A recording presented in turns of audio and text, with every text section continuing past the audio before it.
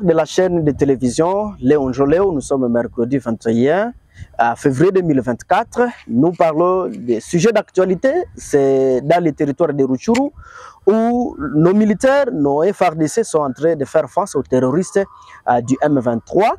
Euh, mais nos vaillants militaires sont accompagnés par les résistants Wazalendo dans le Rutshuru. Euh, Aujourd'hui, il y a eu des affrontements à Karuba, à Boueremana, c'est aux alentours de Sac. Donc, les terroristes du M23 sont en train de viser la cité de Sake. Sake, c'est à 27 km de la ville de Goma. C'est à ce sujet que nous évitons en tout cas notre compatriote. Il est là, et Akilimali Katembo. Euh, il est membre de la Veranda Mutsanga, groupe de pression euh, à Butembo. Léos Akilimali, bonjour et bonne arrivée. Bonjour, merci. Euh, je profite pour saluer tous les ceux qui nous suivent sur le Olinjoleo TV. Est-ce que vous êtes à bonne santé? Bon, je suis à bonne santé physique, mais psychologiquement, je suis été euh, euh, inquiété euh, par la situation que nous traversons. Ah, ah, oui, un jour, nous aurons la paix, hein? donc ne t'inquiète pas. Et, mais alors, là où c'est qu'il mal, vous suivez cette situation de, de, de Rutshuru. Comment vous appréciez la tactique et, ou le comportement de nos Wazalendo les jeunes résistants qui se donnent en fait pour notre pays, euh, mais également les FRDC qui, font face en tout cas et aux terroristes du M23. Comment vous appréciez la tactique des combats? Ça, c'est triste, mais parfois aussi ça fait rigoler. Euh, J'aime souvent le dire à mes amis, les concepts de repli stratégique. Je ne sais pas ce que ça signifie euh, dans les domaines militaires au Congo, mais c'est un concept que nous attendons tous les jours. Et à un moment donné, lors je passe d'une émission, euh, le gouverneur l'a bien dit qu'ils euh, sont d'observer les cessez-le-feu, qu'ils attendent, c'est pas la décision politique. Par rapport à sa mission, peut-être que vous l'avez confiée. Ils attendent la décision politique pour qu'ils puissent s'engager, pour qu'ils puissent s'engager dans le combat contre l'ennemi. Bon, ce sont deux mots, je disais, qui, euh, qui, qui rendent triste, qui, qui font quand même aussi rigoler.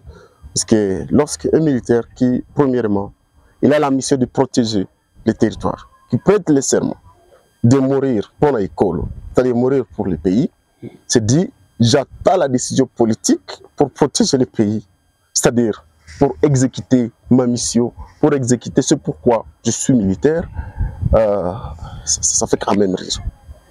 Euh, à la même logique, si vous suivez de tout près la situation, Bunagana, c'était repli stratégique. Nous ne voulons pas exposer la population. Nous nous débarrassons la cité de Bunagana. Nous rentrons épais derrière. On laisse la route en 23. Mm -hmm. Et jusqu'aujourd'hui. Pour ne pas tuer la population. Justement, pour ne pas tuer la population. Mais on a déjà la, la, la, la mission de protéger cette population. C'est sa première mission. Donc, abandonner l'ennemi. Parce que tuer la population, ce n'est pas seulement venir et l'exécuter à la machette. Abandonner déjà la population entre les mains de l'ennemi, c'est la tuer il faut quand même savoir bien, bien, bien, bien comprendre les concepts. Euh, Jusqu'aujourd'hui, si vous suivez de tout près la situation mm. que nous traversons, euh, est-il que le M23 n'a jamais pu par force une agglomération? Tous les jours, ce que nous apprenons, c'est qu'il y a pression. Je ne sais pas si c'est quel genre de pression. Les FARDC disent repli stratégique. Car repli stratégique, ils quittent, ils vident les milliers, ils l'abandonnent, et le M23 vient, il prend. C'est la même logique jusqu'aujourd'hui. Nous avons des matériels, nous avons tout, nous avons des militaires, nous avons tout. Je dois quand même s'allier l'engagement de certains militaires parce qu'il y a quand même des compatriotes qui sont en train de mourir. Et ils meurent dans une histoire de repli stratégique qu'eux-mêmes peut-être ne maîtrisent pas.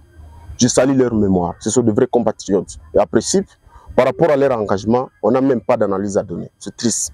Ils ont laissé les orphelins, ils ont, laissé des veufs, ils ont laissé des, des, des veuves. Mmh. Et leurs familles aussi. Ils ont laissé de famille, mmh. malheureusement, qu'ils se passent votre prise en charge. Mmh. Et donc, venez dire qu'il ne faut rien, c'est quand même trop fort.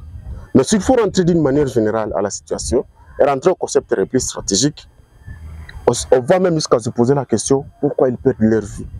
Dans une histoire où eux-mêmes ne, ne, ne, ne, connaissent pas les tenants et les aboutissants. Et donc, jusqu'à aujourd'hui, c'est repli stratégique. Il y a nos Wazalènes qui se mobilisent. Bon, voilà, euh, il y a le président qui disait nous devons organiser des cellules de surveillance communautaires. Mhm. Et les jeunes se sont donnés, parce que les jeunes ne sont pas d'accord avec l'évasion du Rwanda. Surtout à l'Est. On n'a jamais été d'accord avec ça. Parce qu'on sait ce que ça signifie. Beaucoup de jeunes se mobilisent. Et on pensait que cette fois-ci, comme le président l'avait déjà lui-même dit, Mhm. euh, qu'il y aurait des cellules de surveillance communautaire et que tous les compatriotes qui souhaiteraient combattre pour protéger le pays, combattre ce terrorisme, ce que lui-même qualifie de terrorisme, ce que lui-même qualifie d'évasion, eh bien le gouvernement va les accompagner. Malheureusement, selon les, informations que nous trouvons, d'ailleurs même les Ouazanais qui ont été égorgés aux côtés des Mankina, car eux-mêmes voulaient aller protéger le pays contre les ADF. De l'autre côté, on apprend même qu'ils n'ont pas à manger. Oh, ils sont en train de. Ils n'ont pas à manger. En tout cas, ils n'ont pas à manger. Ils n'ont pas de Mais quand prix. même, euh, la, la population est en train de se donner pour donner à manger. quand Mais la population donne aussi les moyens au gouvernement, ça aussi, il faut, il faut les reconnaître. Il, faut, il suffit de circuler la ville de Boutem et voir combien la population contribue. C'est à tous les niveaux. Et même les la population la plus ordinaire, parce qu'il y a ce qu'on appelle TVA, taxe sur la valeur ajoutée. C'est les derniers consommateurs qui payent ça, et c'est la population. Donc, la population est en train de donner au gouvernement pour que le gouvernement, contrepartie, puisse nous protéger. C'est ça la première mission du gouvernement. Si un gouvernement ne sait pas déjà assurer sa souveraineté sur son territoire, eh bien, je ne sais pas de, de quel concept il faut employer. Donc, La population, elle fait ce qu'elle peut faire. C'est pas encore à cette population-là d'aller nourrir les militaires s'il le faut. C'est pas encore à cette population d'aller nourrir les Ouazalènes. Et Non, si la c'est- population c'est- donne c'est- aux C'est Ouazalènes l'esprit patriotique. Justement, c'est l'esprit patriotique. Mais l'esprit Hein? patriotique est déjà, euh, euh, est déjà attesté à travers le paiement des impôts, à travers le paiement des taxes, ce que la population fait tous les jours. Et je venais de démontrer que même la population, sans le savoir, beaucoup paye les taxes à travers la TVA sur la consommation. Parce que quand même, tous nous consommons. Et sur ce que nous consommons, nous payons la taxe sur la valeur ajoutée. C'est les consommateurs, les derniers consommateurs qui supportent, cette taxe. Et le gouvernement, à part ce, qu'il il reçoit de la population, il reçoit aussi beaucoup d'autres dons qui viennent, qui viennent de l'étranger. Il reçoit aussi d'autres aides qui viennent sous forme de dettes à travers les institutions. Donc le gouvernement a un principe du moyen. Comment le gouvernement peut aller payer à un député, nous apprenons qu'ils seront payés, c'est pas 33 000 dollars, alors que les soldats qui entrent directement de protéger la nation, on ne sait pas les payer. On ne sait même pas les donner à manger, s'il vous plaît. C'est ridicule. Et donc, penser qu'on peut gagner avec cette méthode, c'est quand même rêver, rêver debout, c'est quand même rêver les yeux ouverts, c'est quand même euh, aller très au-delà de ce que nous déployons comme moyen. Un militaire qui ne... Mettez-vous à vous-même à sa place. Il ne mange pas. Il n'a pas de salaire. Et le jour qu'il reçoit le salaire, on prend quand même une partie de son salaire. Parce que vous vous, vous souviendrez du, du- du rapport sur l'état de siège euh, l'année passée. Je, je pense que c'était à travers une émission parlementaire où les députés ils ont découvert que à plus de 70% des moyens euh, qui sont dégagés à Kinshasa pour la guerre à l'Est, 70% sont déjà consommés à Kinshasa. Et c'est 30% qui arrivent à l'Est? Et sais comment ça se passe Mm. Ceux qui sont haut gradés, ils mangent encore de ces 30%. Et le militaire qui est sur le front, il ne reçoit que des miettes. Et des miettes qui arrivent très rarement. C'est donc triste. Et dans ce contexte, je pense qu'il faut l'intervention divine pour qu'on puisse gagner. Et même pour divine directement. et même pour les, les Ouazalènes, non, la guerre, la guerre, on ne sait jamais faire la guerre si on ne mange pas. On ne sait jamais faire la guerre si on n'est pas motivé. Et la première motivation de l'homme, c'est quand même manger. C'est quand même manger. On ne sait pas manger. Comment on va aller combattre l'ennemi qui, à plus de manger, il est bien outillé, à plus de manger, à plus d'être bien outillé plus tôt, il reçoit quand même là, sa prime. Il est bien engagé. Mais vous, vous ne mangez pas, vous n'avez pas de matériel. Mais entre nous, il faut l'intervention divine pour que même la pierre du Maïma puisse atteindre l'ennemi, Ah, puisse se transformer en bombe. S'il y a déjà l'intervention divine. Non, vous risquerez de laisser que les, les Congolais pleurent en fait quand vous parlez comme ça. et- hein? Donc, restons. vous parlez justement, vous êtes, euh, vous êtes dans les logiques, mais euh, qu'est-ce qu'on peut faire à ce stade pour que nos vaillants militaires, nos Wazalendo, hein, euh, combattent bien Bon, en l'ennemi dans les routes? mon objectif, ce n'est pas Hein? de faire pleurer le Congolais. Je fais les mathématiques. Je sais que pour résoudre une équation mathématique, il faut comprendre toutes les données possibles pour que l'on puisse trouver la réponse, la bonne réponse. Et donc, mon objectif, c'est d'abord de montrer aux yeux du monde, au public congolais surtout, ce qui se passe à l'Est. Et que nous avons toute cette volonté que les choses changent. Mais que les moyens pour que les choses changent ne sont pas déployés par les gouvernements. Vous imaginez vous-même, pouvez-vous donner? Vous dites, bon, moi-même, je vais combattre les, je vais combattre les, les, les M23, les terroristes. Je suis patriote, je m'engage. Je vais mourir pour le pays. Mais la première chose, elle ne pas manger. Est-ce que ça vous est arrivé de passer une nuit sans manger? C'est qu'on ressent le lendemain. C'est la catastrophe. C'est la catastrophe. Donc, si déjà vous n'avez pas ce préalable, non seulement pour combattre, mais pour vivre, comment vous irez combattre? Ah, c'est compliqué. Et si vous savez que même si je vais mourir, c'est sur quoi j'ai la responsabilité? Parce qu'il y en a ceux qui sont en train de se donner, ils ont des responsabilités dans leur famille. C'est sur quoi euh, ceux qui vont rester, ceux qui dépendent de moi, seront délaissés dans la rue. Qu'est-ce qui va encore vous motiver? Parce qu'il y a des militaires qui meurent, mais nous voyons ceux qui dépendent de ces militaires, comment ils vivent. C'est triste. Il y a des Ouazalènes qui sont en train de se, donner, mais ceux qui dépendent de ces Ouazalènes, leurs familles, comment ils vivent? Beaucoup ne sont même pas visités. Il n'y a que programme du gouvernement pour dire voilà, la femme de tel, il s'est engagé, il, il, il, est décédé sur les lignes du front, il faut que quand même sa famille soit bien protégée. Quelle motivation? Ça n'existe pas. Donc dans ce contexte, malheureusement, je suis désolé de le dire, je l'ai dit, larmes aux yeux. J'ai du mal à croire qu'on peut gagner. J'ai vraiment du mal. Non, non, il faut, il faut avoir l'espoir. J'ai vraiment il faut, du mal. Il faut avoir l'espoir et les hausses. L'espoir, Hein? il y en a. Les vaillants sont en train, en tout cas, de se donner pour ils sont en train de se donner, je suis Hmm? complètement d'accord. Ils sont en train de se donner. Mais à quel prix? À quel prix? À quel prix? Pour quel résultat si on n'apprend que les avancées de l'ennemi sur nos territoires C'était Bunagana, c'était Ruchuru, c'était Kiwanja. Aujourd'hui, c'est ça. Et qui sait ce que sera demain? Et si ça, ça, ça, ça brille là-bas, à Beni, on n'en parle même plus. C'est toute une, c'est toute une province qui est partie à feu, qui est déjà sous contrôle de l'ennemi. Et donc, dans ce contexte, je suis désolé. Dans le contexte où le gouvernement va déployer l'argent, mais 70% de cet argent sera, dé- sera, sera, sera, sera consommé, même à partir même de Kinshasa, c'est attendre le- les lignes de front. Parce que la guerre, c'est quand même aussi le moyen. Mais le La chef de guerre, la l'État est quand même de, de mettre les moyens pour que euh, la guerre prenne fin. Il a de mettre Hein? les moyens. Les moyens même qu'il met, on les consomme à partir même de Kinshasa. Deuxième aspect qu'il faut voir dans ces opérations. Euh, nous avons appris récemment que le service de renseignement de Goma, il a été interpellé. Oh C'est oui, vrai, non, la justice il, était, pas- euh, La justice, il, était- il serait en collaboration avec les. Voilà, avec les il sera en collaboration, c'est le conditionnel. Mais supposons que ce conditionnel soit vrai et qu'il soit en collaboration. Donc, à plus de délaisser ceux qui sont directement engagés sur les lignes de front, ceux qui sont censés fournir les renseignements pour élaborer les stratégies de guerre sont déjà en connivence avec l'ennemi. Et, et le ridicule encore tout ce qui se passe, c'est qu'à Beni, on nous dit que les, les ils sont avec nous, de l'autre côté, les Ougandais ils sont avec le M23. Donc, vous voyez autant de confusion et espérer trouver la paix dans ces contextes, je pense que c'est rêver debout. J'ai rêvé. Mon objectif, je dois souligner, c'est pas de faire euh, que, que les Congolais puissent désespérer. Si le désespoir, ça sera la fin de notre pays. Mais que ceux qui ont la charge de protéger le pays et qui bouffent l'argent du pays pour ça, qu'ils puissent faire ce qu'ils ont mission.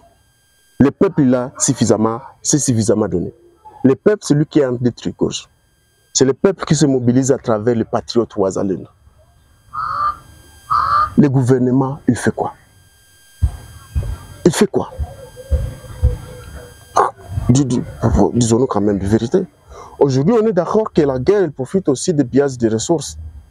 Mais ces pillages de ressources, qu'est-ce que le gouvernement fait pour empêcher ces pillages Qu'est-ce qu'il fait? On sait bien qu'on se mobilise pour le pillage des ennemis qui sont étrangers, les Rwandais, les Ougandais, les Anglais et. Mais comment pouvons-nous espérer à la réussite alors qu'à l'intérieur même du pays, il y a ce qui alimente cette crise. Malheureusement, on aura du mal à l'emporter sur l'ennemi extérieur en ayant déjà des ennemis à l'interne même de nos institutions, que nous applaudissons malheureusement. Oh non, écoute, Léo, comme nous sommes vers la fin, en tout cas de notre entretien, et qu'est-ce que qu'est-ce qu'on peut faire? Qu'est-ce que le gouvernement peut faire ou les autorités militaires, même civiles, peuvent faire, même la population peut faire à ce stade où nous sommes en tout cas envahis par. euh, La par première chose, on a toujours dit, la première chose pour résoudre le problème, il faut d'abord le comprendre. C'est-à-dire, le gouvernement devait d'abord comprendre on est en face de quoi? C'est quel type d'ennemi? C'est qui l'ennemi? C'est une chose de dire le Rwanda c'est l'ennemi. Mais il faut comprendre que à part le Rwanda, il y a d'autres ennemis qui agissent à travers ce Rwanda-là. Et donc, c'est identifier d'abord convenablement l'ennemi sur les lignes de front, sur la guerre. Identifier l'ennemi qui se cache dans nos institutions. L'exemple de, si on reste dans l'hypothèse que les renseignements de Goma étaient en collaboration avec le M23, si on reste dans cette hypothèse, il faut que le gouvernement identifie tous les ennemis qui agissent dans le même sens que ces renseignements-là, à l'interne. Que le gouvernement puisse déployer maintenant les moyens nécessaires. On a bien compris l'ennemi, on a bien compris la guerre avec toutes ses dimensions. Au lieu de nettoyer les services, on doit maintenant déployer. On doit déployer, les humains, on doit déployer les matériels, on doit aussi motiver ceux qui sont sur les lignes du front. Voilà moi ce que je pense. Si c'est là, il le fait. Je pense que la guerre peut même faire du jour. Parce qu'entre nous, c'est pas les Rwandais qui peuvent nous malmener jusqu'à Oui, ce niveau. c'est- quand même pays. euh, C'est tout un euh, petit pays. Sur tous les aspects, le Rwanda n'a rien. Mais ils sont quand même soutenus par des. Justement, ils sont soutenus, c'est ce que Hein, je disais. ils sont Il faut soutenus, hein. identifier l'ennemi dans toutes ces dimensions. Et, de, et élaborer des stratégies tenant compte de toutes ces dimensions-là qu'a l'ennemi qui nous combat à, à Goma. Léo Seakilman, je rappelle que vous êtes euh, membre de la Veranda Mutsanga, groupe de pression, en tout cas de Butembo. Euh, un mot aux téléspectateurs qui vous suivent dans la diaspora et même euh, en RDC. Je voudrais d'abord commencer pour la diaspora. C'est que ce qui se passe ici en RDC, malheureusement, il n'est pas connu. Parce que l'ennemi élabore une stratégie de la politique du silence, l'omerta, qui est le silence sur tout ce qui se passe? Je suivais une conférence euh, récemment de Thierry Michel. Vous savez, Thierry Michel, c'est parmi euh, euh, ces blancs-là qui s'occupent de la question du pays. Il a donné un film il a fait un film sur la RDC qu'il a intitulé L'Empire du silence, pour montrer justement ce silence qui est entretenu sur la crise en RDC. Et ce silence, ceux qui seraient à principe les premiers à les dénoncer, qui sont déjà dans la diaspora, ce sont les Congolais qui vivent à l'étranger. Ça doit, ils doivent tout faire à travers des manifestations, à travers des conférences, mobiliser le monde entier sur ce qui se passe ici chez nous. Montrer que tous les téléphones qu'ils sont en train d'utiliser, c'est les ça des Congolais qu'ils sont en train d'utiliser. Parce que chaque téléphone qui circule dans le monde, il a une matière du Congo, le coltan. Cha- Je dis bien chaque téléphone, chaque ordinateur, chaque avion, et tout. Et qu'il soit capable de faire comprendre à la diaspora, disons, aux étrangers, aux autres pays du monde, Mm. que vous voyagez dans un avion, vous voyagez sur le sang du Congo. Vous, voyez, vous utilisez votre téléphone, vous utilisez le sang du Congo. Vous utilisez votre machine, c'est les du Congo, les ça comme les vôtres que vous utilisez dans cette machine-là. C'est une mobilisation qui doit être totale. Ça, c'est la première chose. C'est-à-dire briser ces silences. Le gouvernement du Congo doit faire la même chose. Organiser des émissions, organiser des conférences dans des grandes universités du Congo. Mobiliser aussi l'opinion congolaise. Parce qu'au Congo, beaucoup même ne savent pas ce qui se passe. Ils ne savent pas le comprendre. Comme nous sommes à c'est- 2000 c'est- km, comme l'autre L'autre disait que la euh, guerre c'est à 2000 km, vous imaginez sa position. Et si lui-même est déjà capable de dire ça, imaginez les autres qui sont dans la, dans la position inférieure à sa position. C'est la guerre n'existe pas, Mm. carrément. Et donc, c'est aussi mobiliser la communauté congolaise. Mm. C'est à travers les conférences. C'est la promotion des travaux sur la crise. Parce qu'au Rwanda, par exemple, les travaux qui sont orientés vers le génocide, ils sont directement appuyés par le gouvernement. Et donc, le gouvernement du Congo doit faire la même chose. Autre chose, organiser une sorte de mémorial sur ce qui se passe quand même ici. On dit qu'il y a déjà plus de 15 millions de morts Vous imaginez 15 millions C'est toute la population de France, toute la population de, de, du Rwanda, toute la population de l'Ouganda, toute la population de beaucoup de pays du monde, décimés, égorgés comme ça. Et le gouvernement ne sait même pas faire un petit mémorial pour dire, bien voilà, voilà ce qui se passe à l'Est. Et attirer les étrangers pour venir voir justement ça. Parce que ma crainte, c'est que nous subissons une guerre, mais on risquera même de manquer de moyens pour prouver que cette guerre existe. Puisqu'il y a ce silence qui est entretenu, et aussi notre gouvernement qui semble mordre à la maison. Rien n'est mélangé pour constituer l'histoire sur ce qui se passe, malheureusement. le gouvernement, j'avais déjà dit qu'il doit prendre ses responsabilités. Ça, c'est aussi appuyer de ce genre d'œuvre à travers les, les conférences et tout le reste. Qui quand même des écrivains aussi au concours, Mais que le a. gouvernement va appuyer, que le gouvernement les appuie. Puisque la recherche, c'est l'argent. La recherche, c'est l'argent. Je suis du domaine d'université, Mm. donc j'ai vu de la recherche et je sais ce que signifie l'argent. C'est l'argent. Le gouvernement doit déployer beaucoup de moyens pour qu'il y ait beaucoup de recherches sur ce qui se passe ici chez nous. Et les recherches qui vont à démontrer cette agression, les recherches qui vont à démontrer ce génocide, le gouvernement doit aussi faire la même chose pour déposer la plainte contre le Rwanda. Parce que c'est quand même une chose de dénoncer à travers les médias que le Rwanda nous agresse. Mais on, pense qu'il y a quand même de l'hypocrisie quand on sait que le gouvernement ne sait même pas initier une plainte contre le Rwanda qu'il vous dépose à l'AI. Pourquoi ne pas le faire? Le gouvernement avait déposé une plainte contre l'Ouganda. L'Ouganda a été condamné de nous payer plus de 10 milliards de dollars.